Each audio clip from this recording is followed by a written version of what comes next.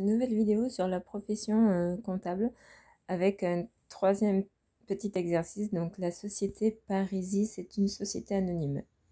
Elle a pour objet social tous travaux de peinture, décoration, vitrerie, ravalement et postes de revêtement muraux.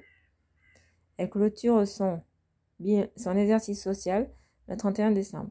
Le nouveau président vient d'être nommé et vous charge de lui faire un rapport sur le commissaire au compte qu'il doit rencontrer prochainement avant sa nomination. Donc, nous avons trois questions à faire.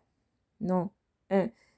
Doit-il faire appel à un commissaire au compte Par qui est-il nommé? Question 2. Ses honoraires sont-ils négociables? Comment est fixé le nombre d'heures de travail à réaliser? 3. Dans quel document doit figurer le budget d'honoraires? Donc, euh, voici ce que j'ai mis en réponse. Et en vert, j'ai mis un petit peu le, corrigé.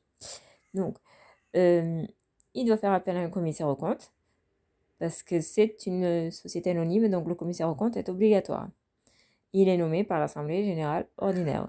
Question 2, ces honoraires déterminés selon la fourchette de nombre normal d'heures de travail en fonction de la taille de l'entité contrôlée et d'un taux horaire librement. Donc, ces honoraires ne sont pas négociables car c'est prévu par le code de commerce.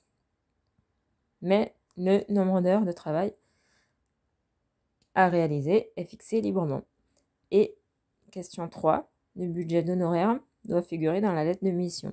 C'est un document qui fixe les termes et les conditions de la mission du commissaire au compte. Voilà. J'espère que cette petite vidéo vous aura plu et je vous dis à une prochaine vidéo.